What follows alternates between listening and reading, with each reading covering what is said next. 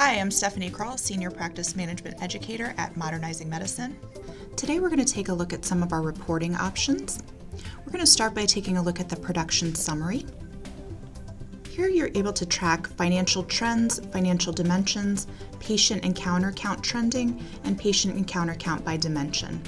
We're going to start off by taking a look at the financials by dimension. And here you'll see that we can track our charges, payments, and adjustments by different options. We have CPT, we could track by payer, we can also track by provider, and also location.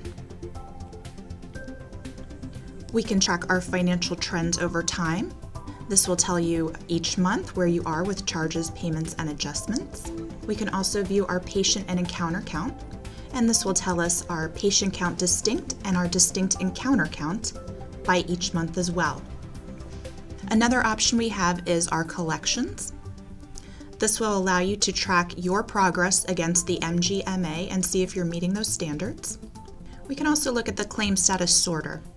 Here we can check in a graphical view our claim status, what we have as denied, on hold, ready for posting, what is queued up, and what is payment pending.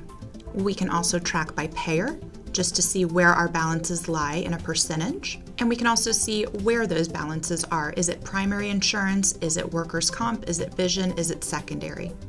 To see these powerful reporting tools for yourself, get a demo at modmed.com/pm.